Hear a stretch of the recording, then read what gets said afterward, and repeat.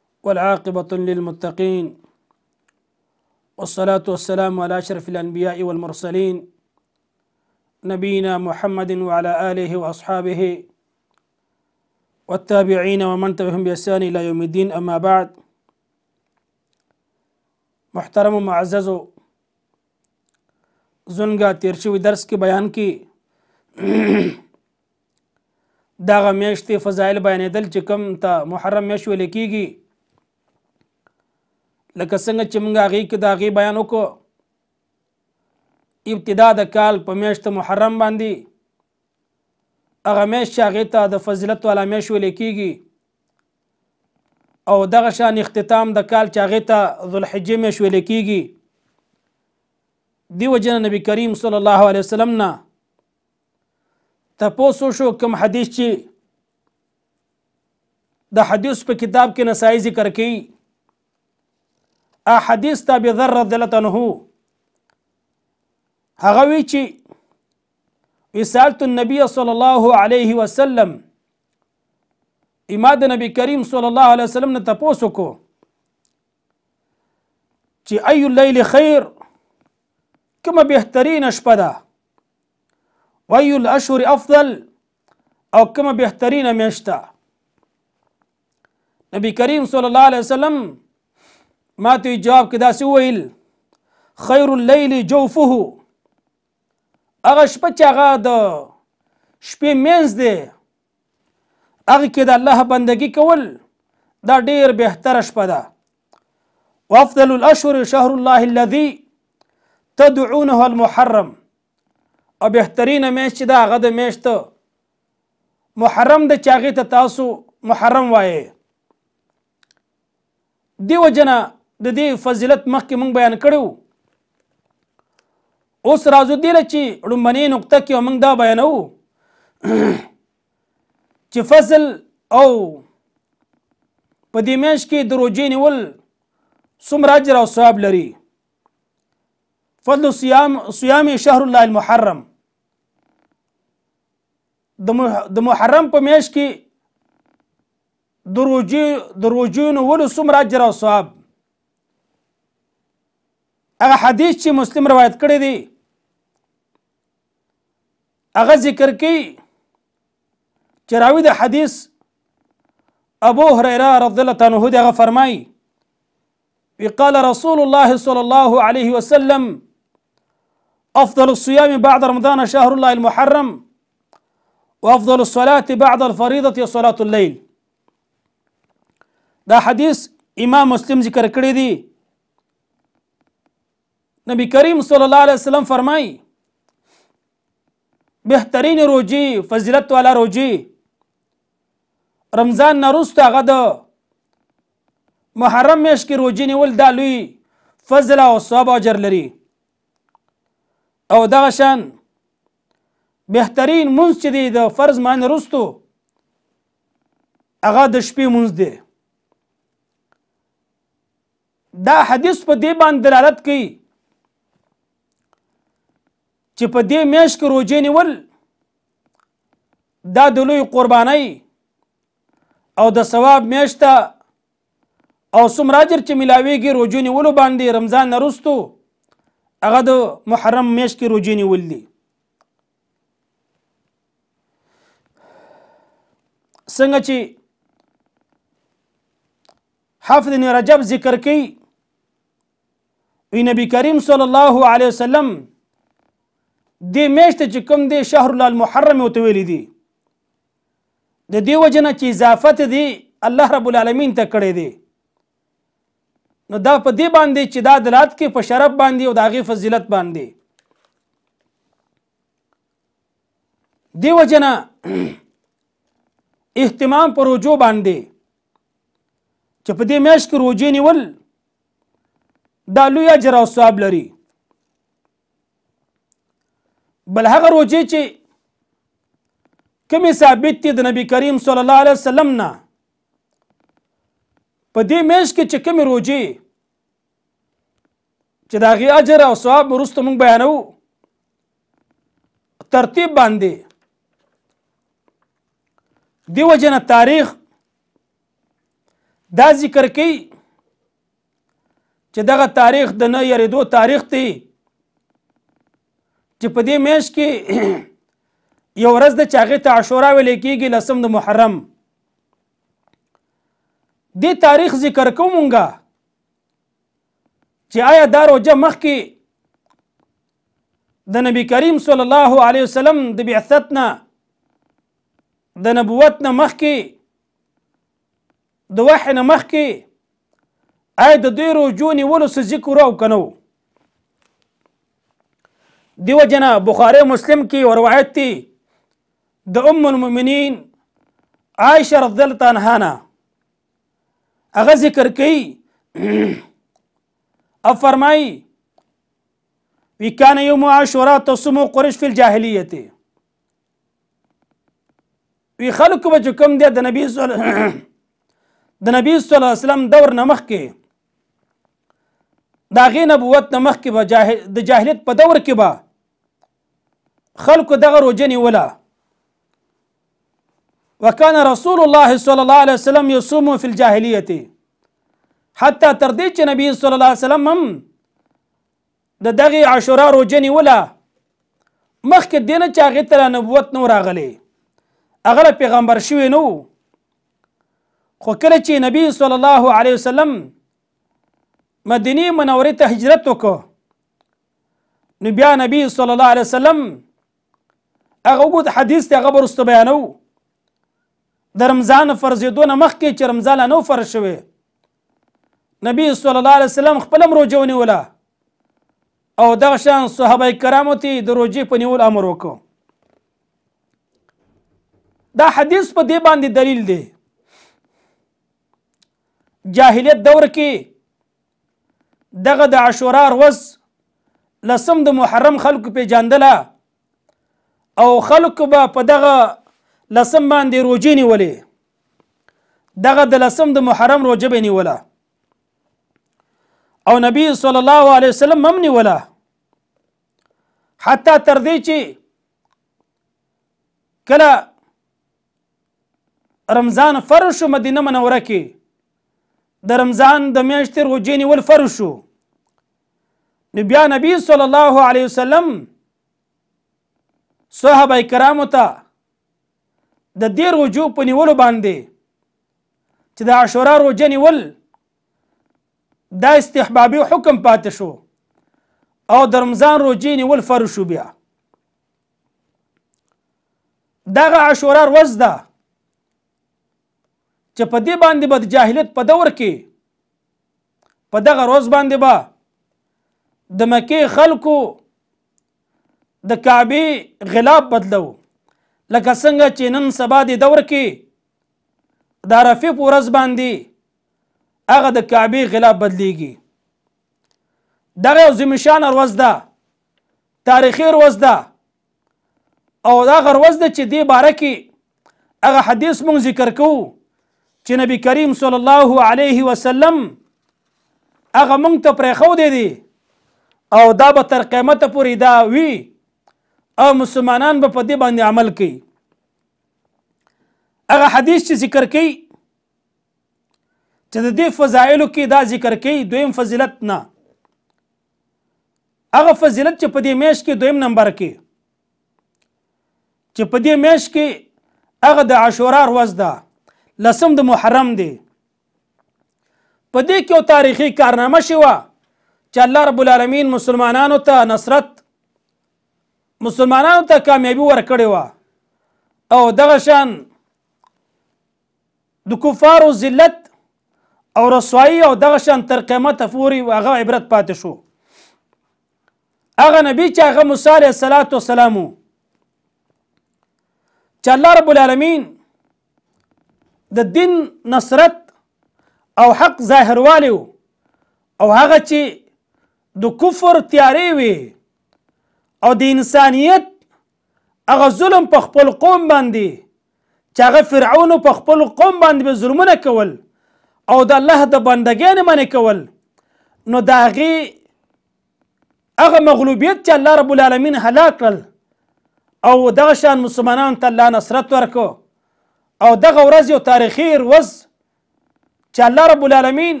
تر قیامت پورې به دا یو عبرت وي چې د الله نصرت چې کله راشي اګر که دغه شان دا ظلم ډیر اوګدم شي خو لیکن اخري نتیجه کې الله رب العالمین خپل مؤمنانو ته نجات او نصرت او کامیابی ورکي دیو جنا په دغه ورځ باندې موسی علیه السلام ته الله نجات ورکو او هغه چا چې د سره اسلام او ایمان قبول کړو او دغه شان فرعون او د هغه فوجین الله تبا کړل هغه ورځ ده چې الله رب العالمین په دغه ورځ باندې موسی علیه السلام ته امر وکړ چې تاسو ارض مقدسه ته اوځئ او دغه شان د بن اسرائیلو یاغه د فرعونینو قریه او هغه کله پرېږ دی تاسو اوځئ دې ځای نه کله چې موسی علیه السلام روان شو او دغه ځای نه وتلو نو دغه شان فرعون او دغه پوجان موسی علیه السلام پسیو کله چې موسی علیه السلام بحر ته رسیږي الله رب العالمین حکم کوي چې او موسی علیه السلام په د خپل امسا باندې دا بحر وها کله چې هغې بحر ووهلو د هغې د بحر په وهلو وهلو باندې هغه بحر دولس لارې شولې او دغه شان دا بحر داسې ودرېده لکه څنګه چې غرونه ولاړو دولس لارې شولې ځکه چې د موسی علیه السلام سره دولس قومونه نو هر یو قوم په خپل لار باندې روان شو کله چې موسی علیه السلام هغه پاس کوي او چې کوم دی هغه بحر پاس کوي او بحر نه تیریږي او فرعون هغه فرعون چې هغه د اولوهیت دعوه کړې وه چې هغه ویل چې انا ربکم الاعلى او بن اسرائیل او زستاسو هغه رب يم چې زما نه بل اوچت رب نشته دی نو الله رب العالمین د هغې فوج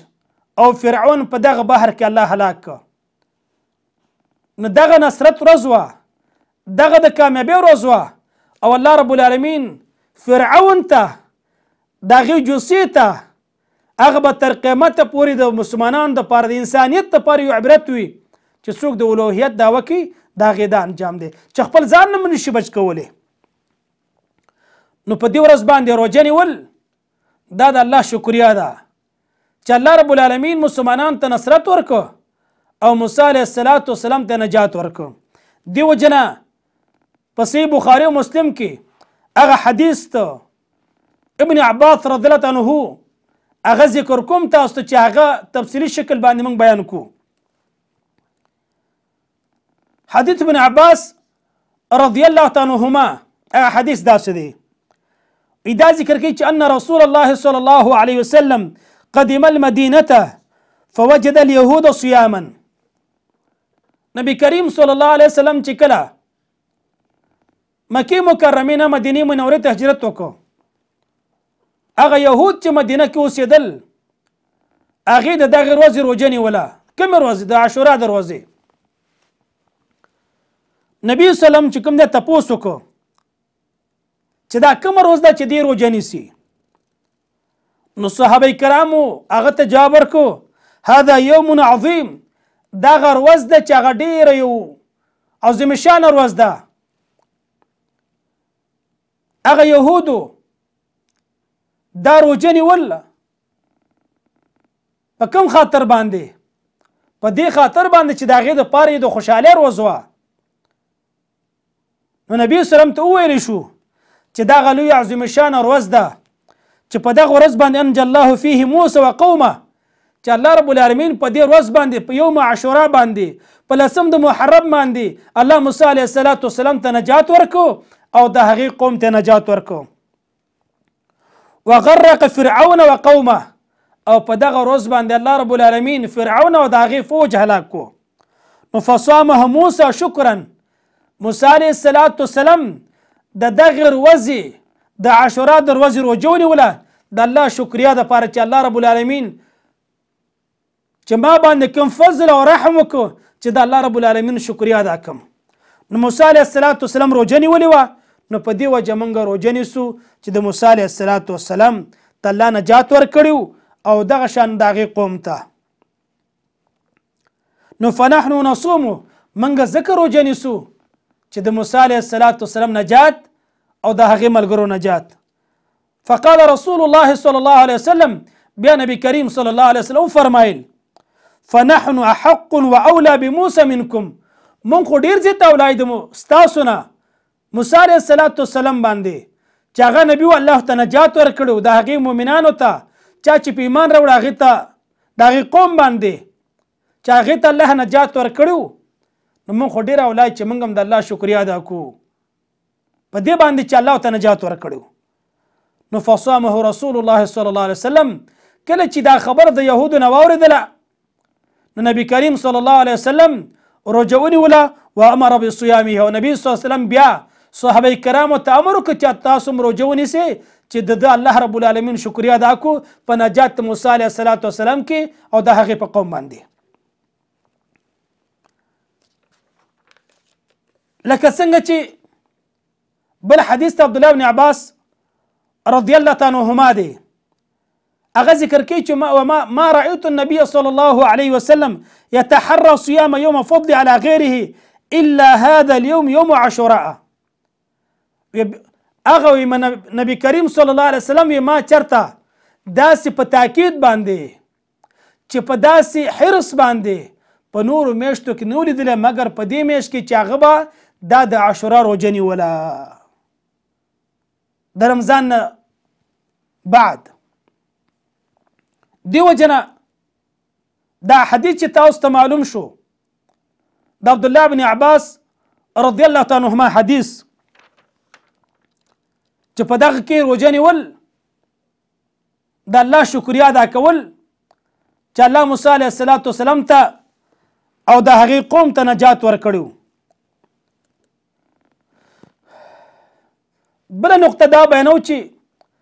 حکم د دې روزي په د عاشورا پر ورځ باندې په لسم د محرم باندې کله چې نبی کریم صلی الله علیه وسلم باندې رمضان نو پر شوی نو د روجې نیول دا واجب او فرض وو خو کله چې نبی کریم صلی الله علیه وسلم مدینه منورې ته هجرت وکړ او په دویم کال د هجرت باندې بیا روجه فرض شوله نو بیا دا غې نه رستو د دې روجې نیول استحباب کې پاتې شو چې د دې روجې نیول سنت عمل دی او فرضیت ختم شو په دی وجه باندې چې رمضان روجې نیول فرض شو دی وجنه هغه حدیث کې چې کوم راځي چې نبی کریم صلی الله علیه وسلم امر وکړ یو سړی ته چې تاسو اواز وکي اعلان وکي هغه خلکو ته چې کوم خلکو د دغه عاشورا پر ورځ باندې چې چار روژه نه نیولې او باقی ورځ پاتې ده نو هغه د روژه ونیسي او چا چې روژه نیولې نو هغه د خپل روژه پوره کړي دا د هغې نه مخکې چې رمضان نو فرض شو کله چې رمضان فرض شو بیا د دغه روژې هغه خبره ختمه شوله اوس راځو څه فضایل بل بیانو نور چې د عاشورې په ورځ باندې روژه نیول هغه حدیث د نبی کریم صلی الله علیه وسلم چې هغه تاسو ته معلوم دی او دا غي تفصیل مخکې موږ بیان کړیو چې په صحیح مسلم کې دا هغه روایت دی ابي قتاده رضی الله تعالی عنہ ذکر کوي ابي قتاده انصاري رضی الله تعالی عنہ هغه وی چې ان رسول الله صلی الله علیه وسلم سئل عن صوم يوم عرفه دا حدیث چې کوم ذکر کوي نو په دې حدیث کې د عرفه د روزي ذکر هم راغلی دی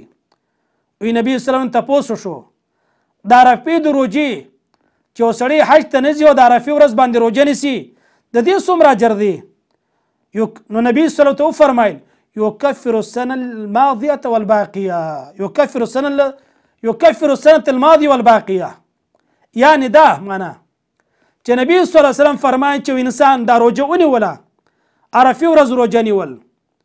نو یو کال ګناهونه ته الله د هغې مخکینی چې کوم دی معاف کوي او د یو کال ګناهونه ته د روان کال الله ته ګناهونه معاف کوي په دغه روزې نیولو باندې چې د عرفي روزه نیول دي د دوه کالو ګناهونه الله رب العالمین انسان ته معاف کوي دغه ګناهونه دي چې کم صغائر دي وسئل عن صوم يوم عاشوراء او بیا د نبی صلی الله علیه وسلم نه د عاشورا د ورځې د روزې ته پوسو چې دې دې څومره اجر او ثواب دی نو نبی کریم صلی الله علیه وسلم تو فرمایل یکفر السنه الماضیه الله رب العالمین په دغه روزه باندې د انسان د یو کال تیر شو ګناهونه معاف کوي دا یو بل فضیلت دی چې الله رب العالمین د انسان د یو کال ګناهونه معاف کوي په دې باندې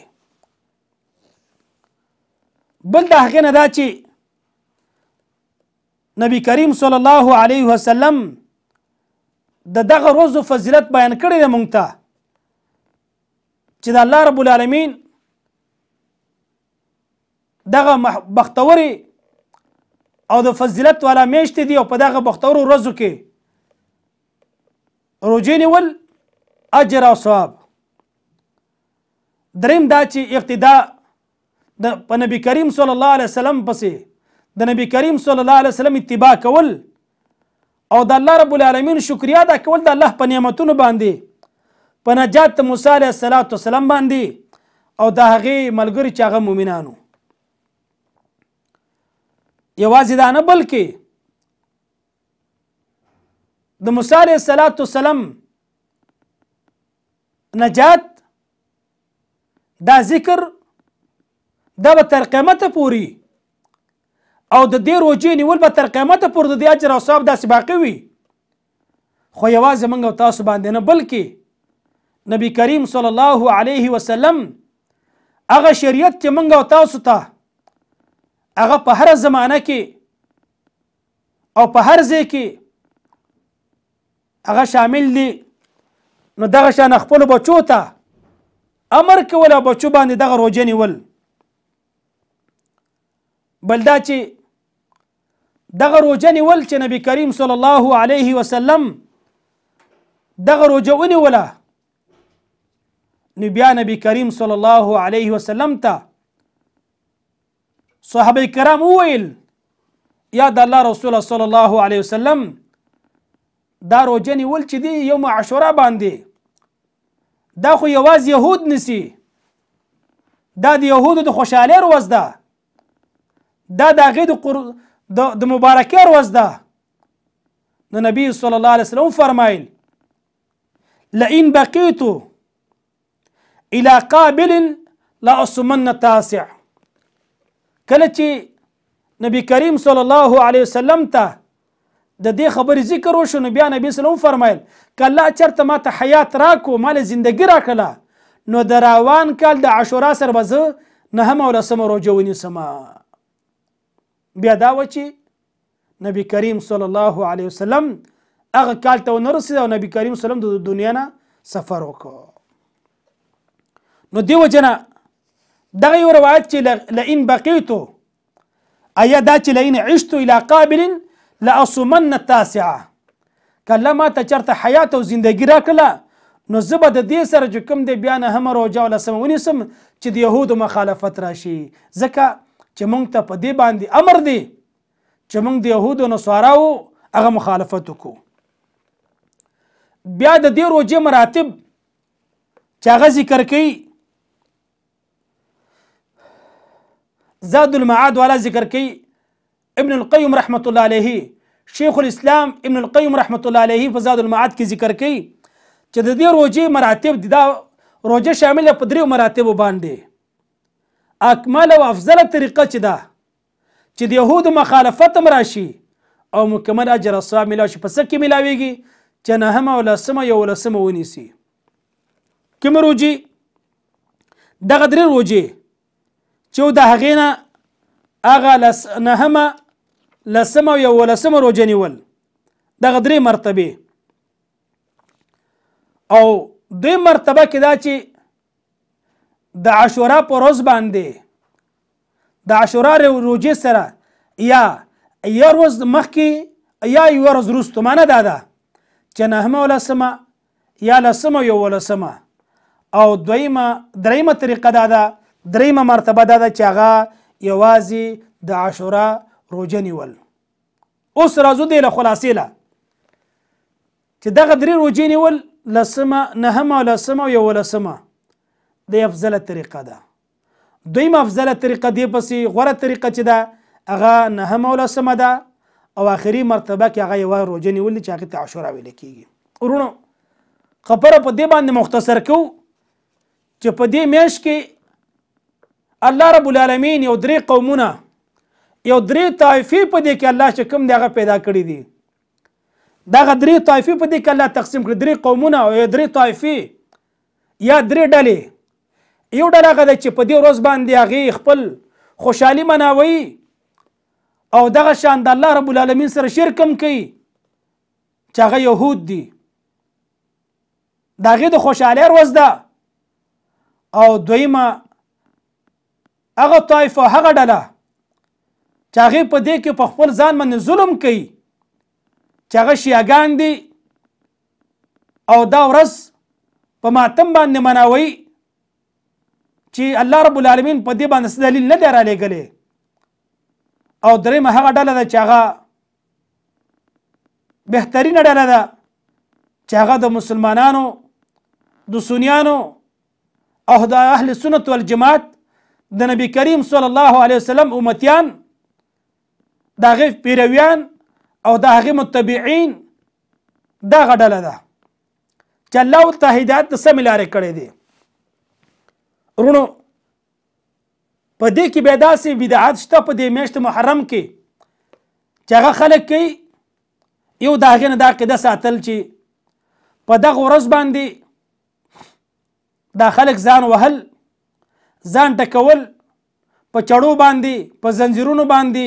په اور باندې خطلو باندې په مختلفو قسمونو عذابونو باندې ځان ته عذاب ورکول الله په دې دلیل نه دی را لېږلی دغه خلک ته چې د الله رب العالمین غضب په دې باندې شوی دی د الله رب العالمین لعنت ته په دغه خلکو باندې ځکه دغه خلک ته چې ام المؤمنین عائشه رضی الله عنها چې دغه برات د عرش معلا نه راغلی وو هغه په عائشه رحمان تهمت تهمت تړي دغه خلک تی چې دی خلیفۃ المسلمین اول خلیفۃ رسول الله اول خلیفۃ رسول الله صلی الله علیه وسلم لومړی خلیفہ د مسلمانانو د نبی صلی الله علیه وسلم لومړی خلیفہ چې هغه ابوبکر صدیق رضی الله عنه دی دغه په لور باندې دغه شان عمر فاروق رضی الله باندې دا شیعاګان لعنت وي موږ دا وایو چې څوک په صحابه کرام باندې لعنت وي لعنت پاغه باندې شه لعنت پاغه چا باندې شه چې د نبی کریم صلی الله علیه وسلم په بیبي باندې تهمت تړي او بیا د نبی کریم صلی الله علیه وسلم پاغه عشره مباشره باندې چې الله ته په دنیا کې زیر را لګلو هغه باندې تهمت او هغه باندې لعنت وي بیا په دې کې داسې رسم و رواج کول خلک په دغه ورځ باندې په خاریو کې په کلو کې هغه شربتونه تقسیمي خوراکونه تقسیمي او په دې وجه باندې دغه وبو تقسیمي دغه یخ وبو یخ شربتونه چې د دې یخوالي حسین رته هو ترسيږي او خلک مقبرو ته ځي او مړو باندې چې کوم دغه وبو او شربتونه اړي یا نور خلک په دې کې چې کوم دی داسې زنان چې په نور ملکونو کې یا په کوم ملکونو کې چې دا رایج وي هغه زنان چې کوم د سترګو تورې زینت کوي خوشاله نه کوي اخلک دا عقیده ساتي چې په دې ورځ باندې خپل بچو باندې نفقه کول خو خوراک ورکول چې ټول کال بیا مونږ ته داسې نعمتونه ملاوي ګرونو اول دا یاد ساتي چې دغه شربتونه ورکول او بیا د دغه شربتونو سکل یا خوراکونه یا خیراتونه دا به عینه چې کوم د حرام دي دا غي خوراک حرام دي زکه چې دا د الله د نوم نه سوا د بل په نوم باندې شوی دی اي دا راته وای چې د حسین رضی الله تعالی دا چا شهید کړو که موږ دا وایو چې حسین رضی شهید شوی دی او هغه شهید شوی دی نو دا خو دې خلکو له پکارو چې هغه دغه دغه روز مناوله چې الله رب العالمین له جنتونو ورکړي دي لکه څنګه چې نبی کریم صلی الله علیه وسلم حدیث مبارک دی چې حسن او حسین دا د اهل جنت والا بسې دا شباب د اهل جنت دي نو دا راته وایي چې تاسو ولې په دې کې بیا ځان وهئ داسې خو تاسو په هغې باندې چې کوم د خوشحالي نه کوئ بلکې تاسو د هغې چې کوم د په خفګان باندې چې کوم د ځان مشغولوئ دیو جنه دغه شربت سکل دا خوراک کول دا حرام دی دغه خلکو سره په دغه ورځ باندې شرکت کول دغه ماتم کې شریکېدل او هغه سره خفګان کول هغه سره تګ دا د دین اسلام نه چې کوم د لريواله دی دا د دغه خلکو سره غمرازي کول دا د شریعت نه چې کوم د لريواله دی په دې باندې انسان الله رب العالمین ګناهګاري دغه چې کوم د عقیده ساتي د صحابه باره کې د ام المؤمنین باره کې او د علی رنه باره کې چې دا وی الٰه ته نو چې وسړی چې کوم د علی رنه ته الٰه وي هغه ته خالق وي نو بیا تاسو دا مشرکان سره وځي کېدل دیو جنا د دغه خلکو سره ناسته د خلکو خوراک او سکاک دا حرام دی بل دا چې اخري کې د مسلمانانو هغه چې موږ او تاسو شریعت څه حکم را کړی دی په هغه باندې عمل کول دا د نبی کریم صلی الله علیه وسلم هغه پیروي ده چې مونږ او تاسو په دې باندې مکلف یو چې مونږ او تاسو د نبی کریم صلی الله علیه وسلم شریعت په ځان باندې تطبیق کو دا څو فواید بیانوم چې دا کم درس منګه وکړو د دې درسونو څه فواید دي لومبنه فائدہ دا ده اهمیت الشکر فی حدوث السراء بعد الضراء د الله رب العالمین شکریا ادا کول وروسته د سختۍ نه چې کله سختی وي او بیا در باندې الله سانتیا راولي د الله شکریا ادا که په دې باندې یو انسان فقیر دی یو انسان چې کوم دی بیمار دی یو انسان په دغه مشکلات کې اخته دی او الله ور باندې فضل او کرم وکړي هغه د الله شکریا ادا کړي لکه څنګه چې موسی علیه السلام د الله شکریا ادا کړ چې الله رب العالمین دغه دغه ظالم قوم نه چې کوم دغه خلاص کړ دویم خوشحالي کول د الله په نصرت باندې الفرح بنصر الله للمؤمنین د الله رب العالمین هغه بندگان چې هغه موسی علیه السلام او مؤمنانو د هغه په نجات باندې خوشحالي کول چې الله رب العالمین موسی علیه السلام ته نجات ورکو د هغې قوم ته نجات ورکو هغه فرعون هلاک چې کوم د الوهیت دعوه کړې وه بل دا چې دریم دا چې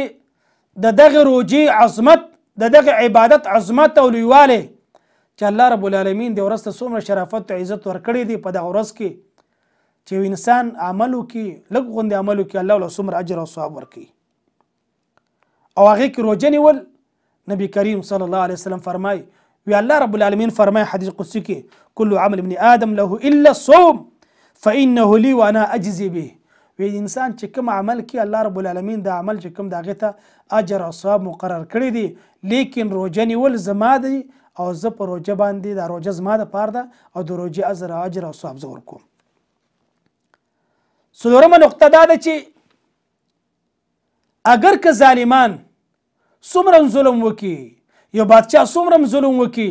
دا ظلم چې څومره وګد شي خو بیا اخر کې نصرت د مؤمنانو لپاره الله رب العالمین کړی دی اخري نجات د مسلمانانو په نصیب کې به الله رب العالمین هغه ورکی الله به نجات ورکی بل دا چې قوت الايمان دا د ایمان یو چې کوم دی قوت دی د ایمان مضبوطوالی دی په دې باندې چې خپل اجیالو ته خپل ماشومانو ته خپل کور کې دغه درس او تدریس کول چې دغه واقع او تاریخي چې کوم دغه خپل کور کې بیان کی چې انسان کې چې کوم د ایمان جذبه راشي دغه احکام زده کی او په دغه باندې عمل وکي او دغه شان الحرص على ترسيخ المبدا الشرعي في مخالفه اهل الكتاب دیو جن چې د دغه روجې نیول چې کومه نبی کریم صلی الله علیه وسلم نیولې وه هغه د عاشورې روژه نیول او چې کله بیا پته ولګي چې دا د یهودو سره موافقت دی نو نبی کریم صلی الله علیه وسلم فرمایي لئن بقیت الی قابل لا صومن تاسعه بیا د یهودو سره مخالفت کول په دې باندې چې د روژه به صرف هغې د عاشورا نیوله نو د هغې سره چې کوم دی دو روژې نور سوا کول یا نهمه او لسمه یا لسمه یولسمه یا درې وړ روژې نیول دیو جنا حرص د نبی کریم صلی الله علیه وسلم امت باندې چې الله رب العالمین ته په دغه لږ اعمال باندې څومره اجر او ثواب ورکړي چې انسان ته لږ عمل او د ټول کال ګناهونو ته الله معاف کوي او بل دا چې د نبی کریم صلی الله علیه صحابه کرام چې نبی کریم صلی الله به خبر وکړه نو هغه به عملی جامه چې کوم دغه ته ورغوستلی و نبی کریم صلی الله علیه وسلم د خلی مبارک نه خبره وتل او د صحابه کرام عمل کول دی وجنه تاسو ته معلومه ده د مولانا بجلګر صاحب نو تاسو چې مولوی صاحب تاسو ولې د خلکو ته کنزل کوئ نبی کریم صلی الله علیه وسلم اخلاق نبوي داو چې صحابه کرامو ته تیزه خبره نه کوله هغه به صحابه کرامو ته کنزل نه کول نبی لګر صاحب خو ډیر حاضر جواب او ناغو ته سو ویل وی نبی کریم صلی الله علیه وسلم کوم شخصیت او داغه بیان ته به څوک ناستل د ابوبکر صدیق رحمه الله غوندې یو شخصیت د عمر فاروق رضی الله شخصیت د عثمان د علی هغه عشره مباشره صحابه کرام به تناستو هغه د کنزل ولا نو هغه ته بهترین مخلوق ناستو وی ما ته ټول حرامیان ناستی وی تاسو د کنزل لایق نه نو دی وجنه خپل بچو ته تربیت ورکول دغه درس بیانول او بیا چې کله یو حدیث تا ته بیان شونه په هغه کې بیا چون چې را مکوه چې دا زما مذهب کې شته او نشته په نبی د نبی کریم صلی الله علیه وسلم حدیث ته ثابت چې په هغه عمل وکړه بل دا چې یو انسان چې کم دی عمر کال تیریږي د انسان عمر کمیږي نو که تانه نور اعمال چې کوم دی هغه فوت شوي نو دا غنیمت وګڼه چې دغه ورځ راتلونکې ده دا یوم عاشورا او د دې عمل د نه فوت نشي دا عمل وکړه چې الله رب العالمین تعالی د هغې اجر او ثواب درکړي او اخري نتیجه به دا چې موږ او تاسو ته د نبي کریم صلی الله علیه وسلم په اتباع باندې امر شوی دی چې موږ او تاسو به د نبی کریم صلی الله علیه وسلم اتباع کوو الله رب العالمین موږ او تاسو ته په دې ویلو باندې او اورېدلو باندې عمل کول توفیق راکړي الله رب العالمین زموږ مسلمانانو باندې رحم وکړي الله رب العالمین زموږ د مسلمانانو